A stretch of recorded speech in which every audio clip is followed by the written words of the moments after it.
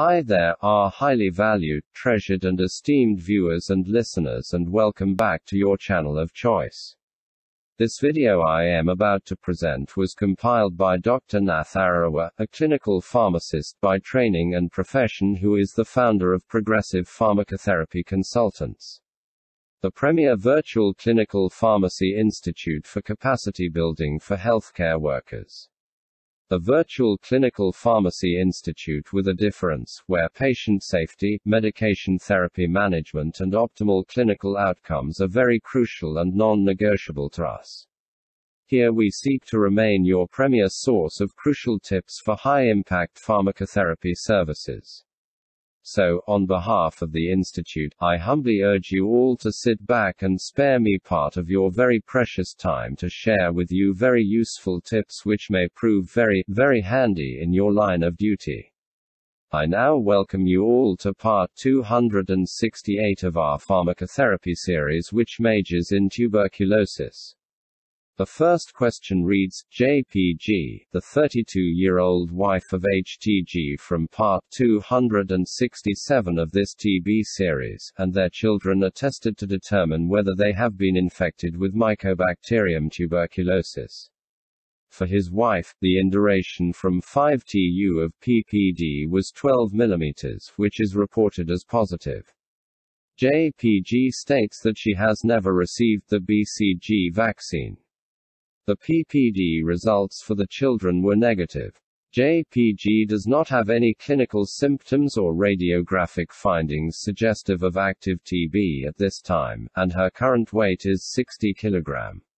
Is she at risk of developing active disease? What are the current recommendations for drug therapy for persons with latent TB infection?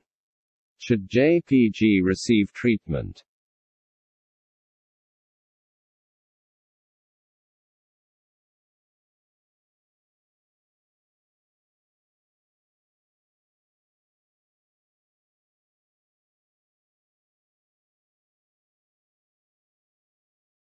Because JPG is a household contact of a person with active TB disease and has a positive tuberculin skin test, she is at great risk of developing active disease.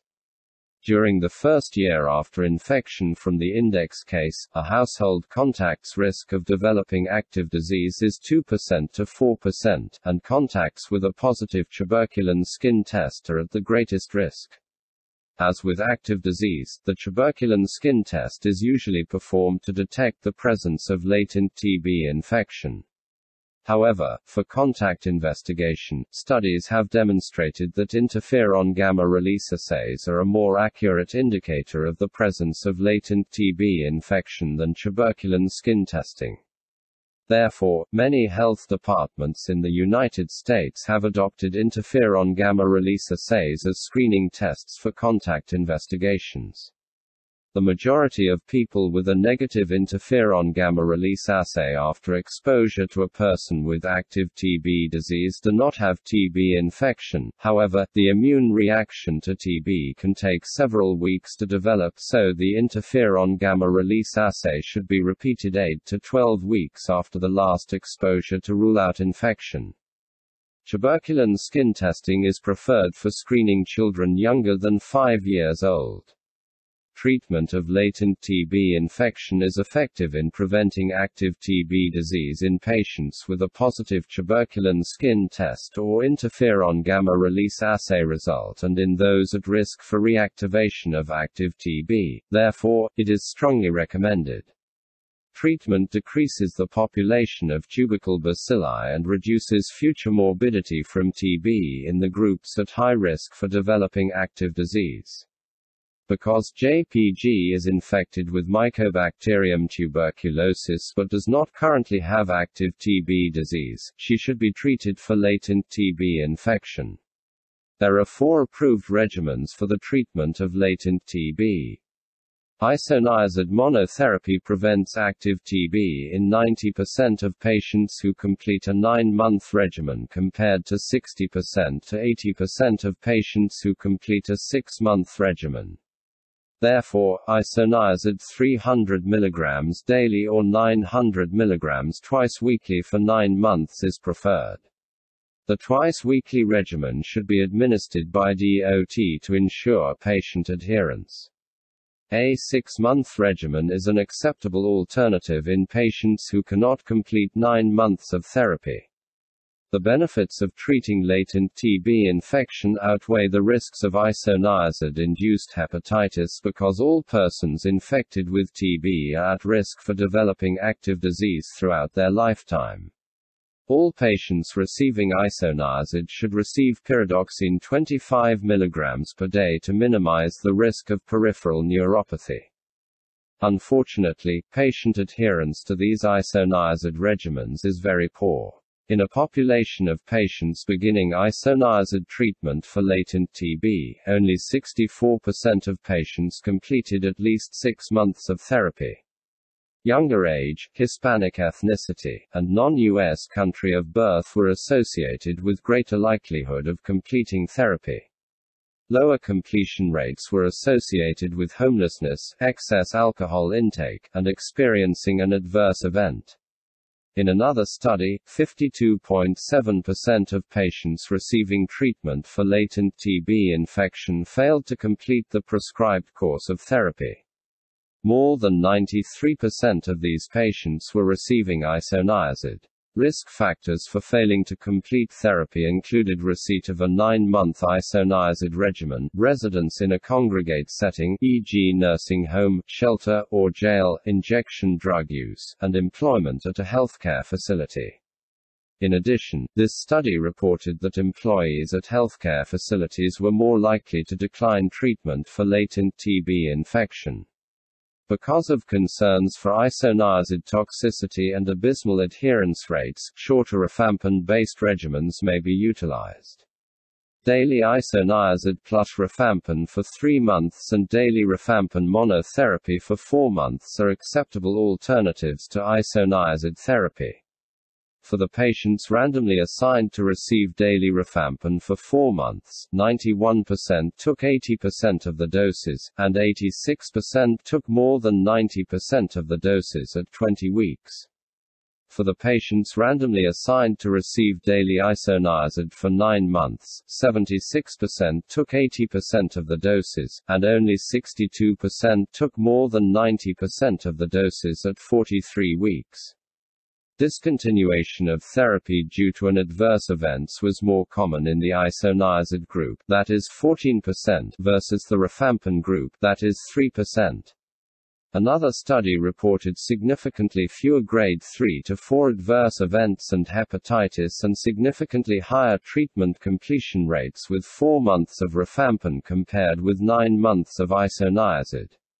Rifampin for four months is an effective, safe, and cost-effective strategy to consider when treating latent TB infection in selected populations of patients. An attractive alternative for the treatment of latent TB infection is the combination of isoniazid and rifampicin administered once weekly for 12 weeks. In one study, patients received either isoniazid 15 to 25 mg per kilogram to a maximal dose of 900 mg plus rifapentine 900 mg with adjustments for patients weighing less than 50 kg once weekly for 12 weeks by DOT or isoniazid 5 mg per kilogram to a maximal dose of 300 mg once daily for 9 months. Completion of therapy was significantly higher in the isoniazid, rifampicin group 82% versus 69%. With a p-value less than 0.001. Overall, TB developed in 7 of 3,986 patients receiving isoniazid, rifampicin and 15 of 3,745 patients receiving isoniazid, hazard ratio 0.38 for the combination, with a 95% confidence interval of 0.15 to 0.99 with a p-value equal to 0.05. Hepatotoxicity was higher in the isoniazid group 2.7% versus 0.4%.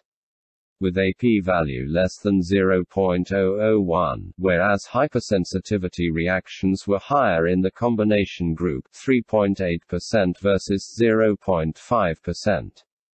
With a p-value less than 0.001, permanent drug discontinuation for any reason was higher in the isoniazid group 31.0% versus 17.9% with a p-value less than 0.001, but permanent drug discontinuation due to an adverse event was higher in the combination group 4.9% versus 3.7%. With a p-value equal to 0.009. The combination is recommended as an equal alternative to daily isoniazid for 9 months in patient 12 years or older with a greater risk of developing active TB disease. These patients include those with recent exposure to a person with active TB, conversion of the tuberculin skin test or interferon gamma release assay from negative to positive, or radiographic evidence of healed pulmonary TB. Isoniazid, rifapentine may also be considered in patients unlikely to complete nine months of isoniazid or in a setting where the combination offers practical advantages e.g., correctional facilities, or homeless shelters.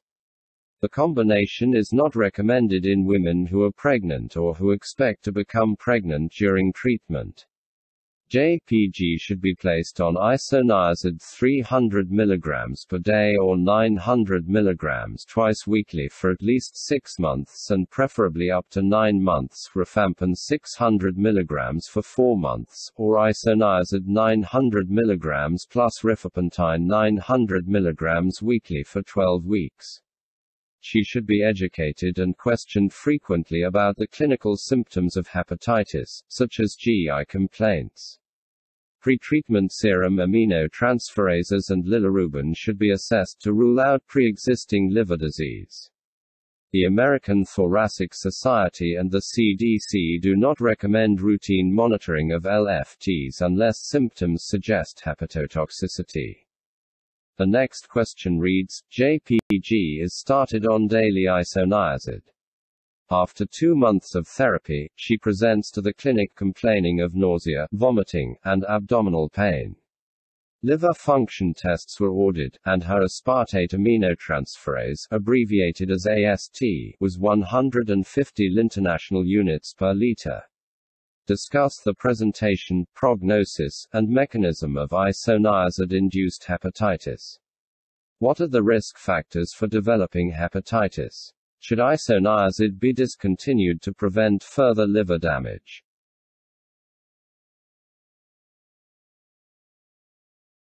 Approximately 10% to 20% of patients treated with isoniazid alone for latent TB infection will develop elevated serum aminotransferases, which are generally transient and asymptomatic.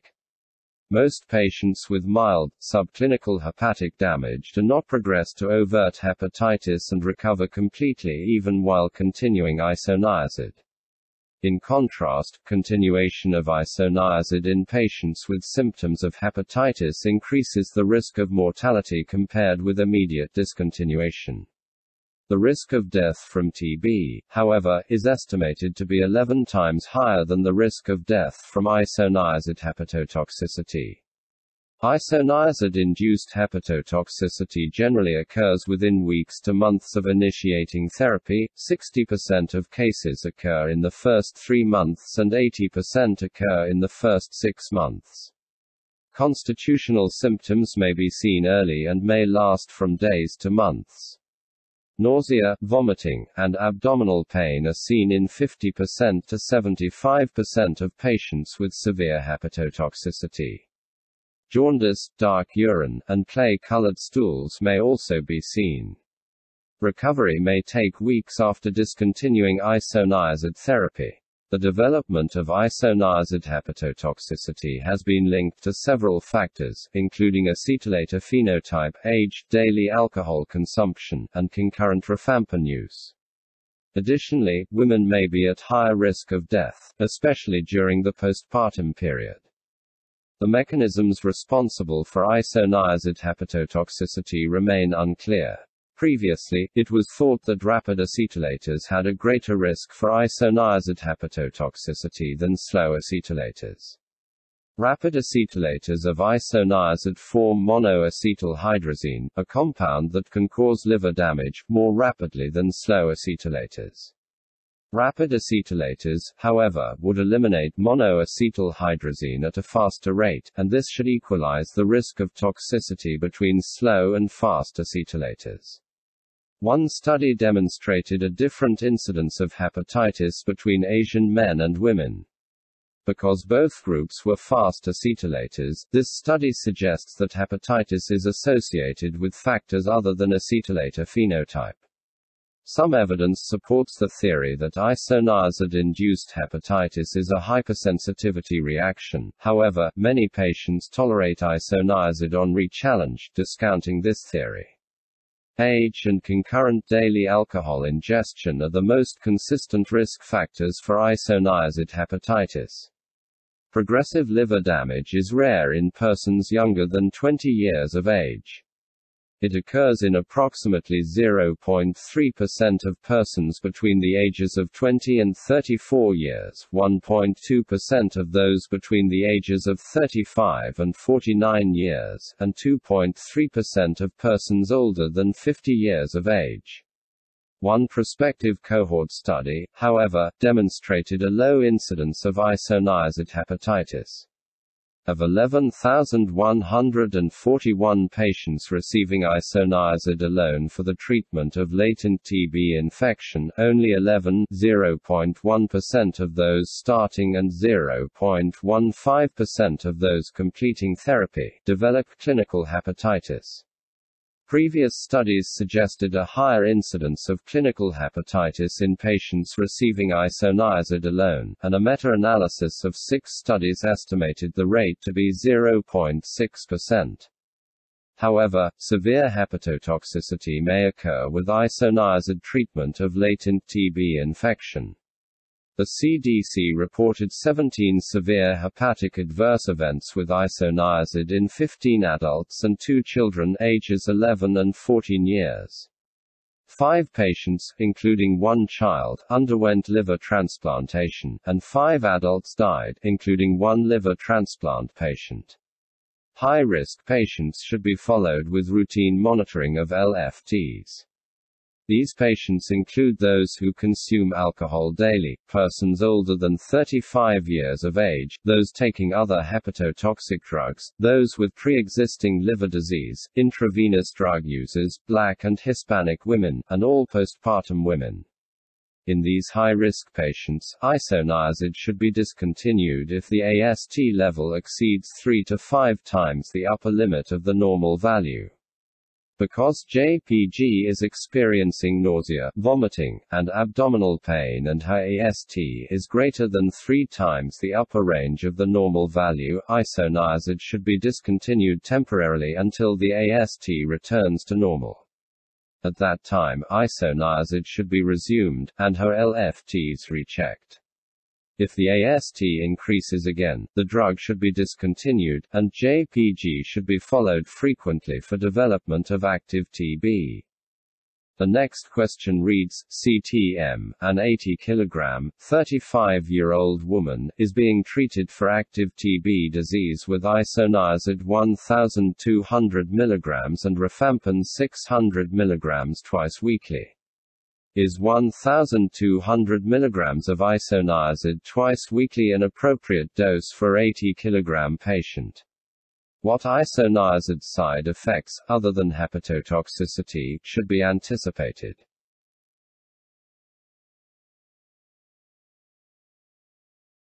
The usual twice-weekly isoniazid dose is 15 mg per kilogram, with a maximal dose of 900 mg.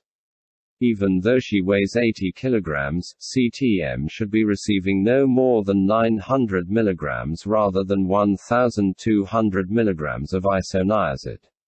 Although high doses or increased serum concentrations have not been linked with hepatitis, elevated serum isoniazid concentrations have been associated with increased central nervous system CNS events, ranging from somnolence to psychosis and seizure.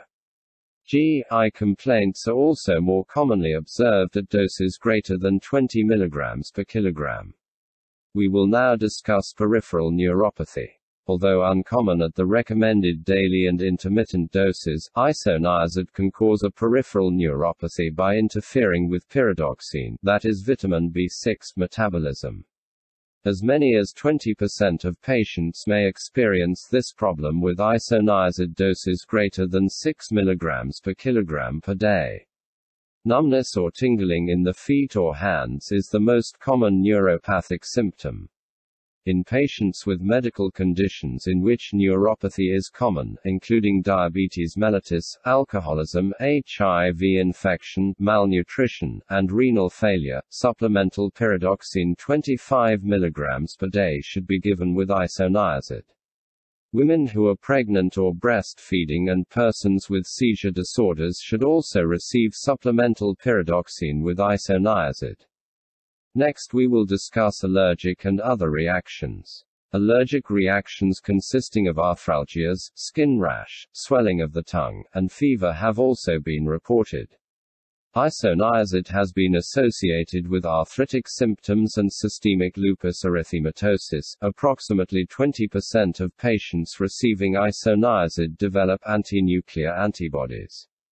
Other less common reactions reported with isoniazid are dry mouth, epigastric distress, CNS stimulation and depression, psychoses, hemolytic anemia, pyridoxine-responsive anemia, and agranulocytosis.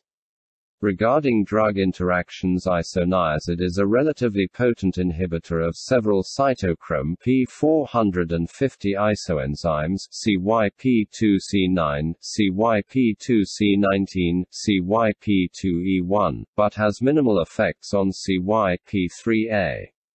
Isoniazid inhibits the hepatic metabolism of phenytoin and carbamazepine, resulting in increased plasma concentrations of these drugs. Patients receiving either of these two drugs with isoniazid should be observed for signs of phenytoin or carbamazepine toxicity, such as nystagmus, ataxia, headache, nausea, or drowsiness. Plasma phenytoin and carbamazepine concentrations should be monitored periodically so that the doses can be adjusted if necessary. Carbamazepine also may induce isoniazid hepatitis by inducing its metabolism to toxic metabolites. In addition, isoniazid inhibits the metabolism of diazepam and triazolam. It is important to note that rifampin has the exact opposite effect on hepatic metabolism. Rifampin is a stronger inducer than isoniazid is an inhibitor as documented by the fact that isoniazid-rifampin combination therapy induces the metabolism of diazepam, phenytoin, and other agents metabolized by the cytochrome P450 system. The next question reads One month after beginning her twice weekly DOT regimen, CTM exhibited symptoms of myalgias, malaise, and anorexia. Laboratory data were normal except for a slightly decreased platelet count. Could CTM's symptoms be related to her drug therapy? What adverse reactions other than hepatotoxicity should be anticipated in a patient receiving rifampin?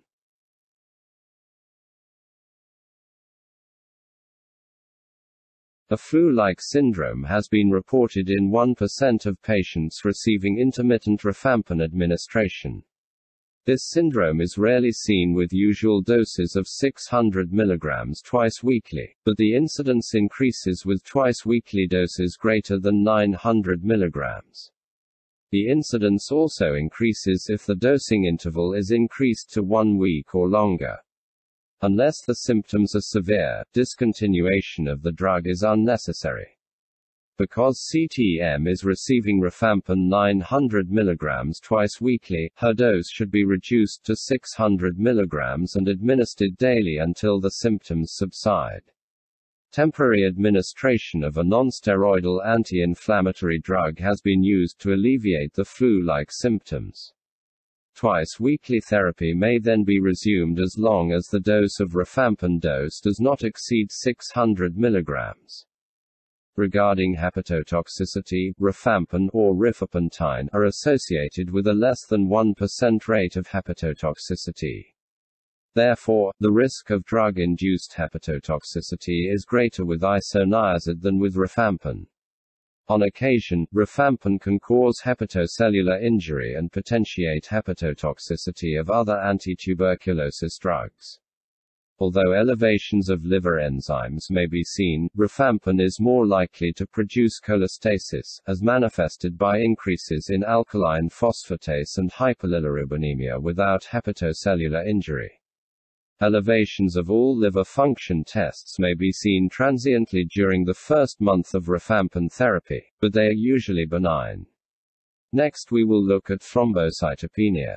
Thrombocytopenia is more frequently associated with intermittent or interrupted rifampin administration, likely caused by production of immunoglobulin G and immunoglobulin M antibodies to rifampin.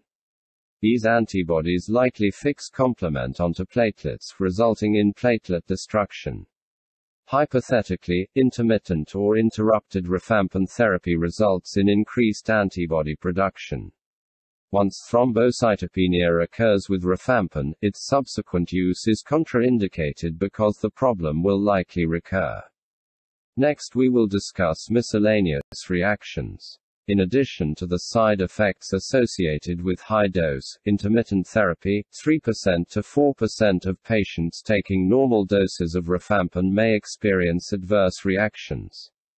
The most common of these are nausea, vomiting, fever, and rash. Other reactions to rifampin include the hepatorenal syndrome hemolysis, leukopenia, anemia, and arthralgias as part of a suspected drug-induced lupus syndrome. Development of these latter reactions requires discontinuation of the drug. Next we will discuss acute renal failure. Acute renal failure has been reported rarely with rifampin. This hypersensitivity reaction may occur with both intermittent and daily administration and may last as long as 12 months. Rifampin should be discontinued, and other drugs, e.g., pyrazinamide and ethambutol, should be given. Doses of ethambutol and pyrazinamide should be adjusted for renal dysfunction, if necessary. Both rifampin and isoniazid may, however, be given in normal dosages to patients with pre-existing renal failure. Next we will look at discoloration of body fluids. Another important characteristic of rifampin relates to its chemical makeup. It is an orange-red crystalline powder that is distributed widely in body fluids. As a result, it can discolor saliva, tears, urine, sweat, and cerebrospinal fluid. Patients using rifampin should be warned of this effect and cautioned not to use soft contact lenses because of possible discoloration. This effect may also be used to monitor adherence to rifampin therapy. Next we will discuss drug interactions. Rifampin is a very potent inducer of cytochrome P450 CYP3A4 and also induces other cytochrome P450 isoenzymes, including CYP1A2, CYP2A6, CYP2B6, CYP2C8, CYP2C9, CYP2C19, and CYP3A5. Rifampin induces phase II drug metabolizing enzymes e.g., UDP glucuronyltransferases, or sulfotransferases, and expression of transporter proteins e.g., P-glycoprotein, multiple drug resistance protein 2, organic anion transporting polypeptide. Complete induction of these isoenzymes and transport proteins occurs approximately one week after starting rifampin and returns to baseline approximately two weeks after discontinuing the drug. Rifamycins differ in their ability to induce cytochrome P450 isoenzymes, in which rifampin is the most potent, rifapentine is intermediate, and rifabutin is the least potent enzyme inducer. Rifampin increases the metabolism of protease inhibitors, certain non-nucleoside reverse transcriptase inhibitors NNRTIs, macrolide antibiotics, azole antifungal agents, corticosteroids, oral contraceptives, warfarin, cyclosporine, tacrolimus, theophylline, phenytoin, quinidine, diazepam, propanolol, metoprolol, sulfonylureas, verapamil, nifedipine, diltiazem, enalapril, and simvastatin. Although the patient is receiving rifampin, it may be necessary to monitor serum concentrations of the aforementioned drugs when appropriate, or increase the dosages. Also, women who are taking rifampin and oral contraceptives should use an alternative method of birth control. When treating any patient with rifampin, the healthcare professional should carefully evaluate all concomitant medications for the possibility of drug-drug interactions. The next question reads Will the combination of isoniazid and rifampin increase the risk of hepatotoxicity in CTM to a greater extent than either drug alone?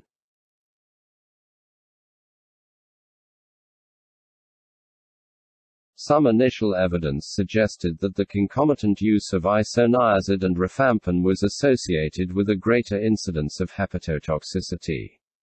The mechanism was thought to be attributable to rifampin induction of the metabolism of isoniazid to either monoacetylhydrazine or to other hepatotoxic products of hydrolysis. Steele and colleagues performed a meta-analysis reviewing the incidence of hepatitis using regimens that contained isoniazid without rifampin, rifampin without isoniazid, and regimens containing both drugs. They found the incidence of clinical hepatitis was greater in regimens containing both isoniazid and rifampin 2.7% versus regimens of isoniazid alone 1.6%, but this effect was additive, not synergistic, and therefore expected. The use of the two drugs together, therefore, is not contraindicated, but caution should be used in high-risk groups such as the elderly, alcoholics, those receiving concomitant hepatotoxic agents, and those with pre-existing liver disease. So there you have it, our highly esteemed viewers and listeners, that brings us to the end of this video. If it benefited you in any way, kindly remember to give it a thumbs up, to like it and to share it widely with your peers. Please leave your comments at the bottom. And if you haven't yet done so, I humbly urge you to subscribe to our YouTube channel. I would like to promise you all that the very, very best is yet to come. Thank you very much for viewing this video. On behalf of our senior colleague, Dr. Nath Arawa, I sincerely appreciate your partnership, continued support and kind collaboration. We look forward to interacting with you in the next video, which will be part 269.